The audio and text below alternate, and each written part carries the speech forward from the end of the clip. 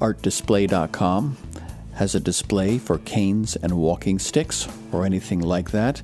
It has a 3 eighths of an inch steel base with a post coming up with two rings for tightening at the top or the bottom, or you may need to actually open the ring to fit something with a larger diameter.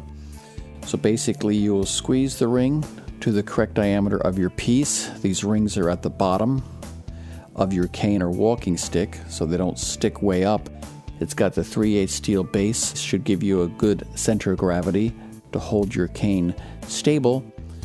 So, this is artdisplay.com's display for canes and walking sticks.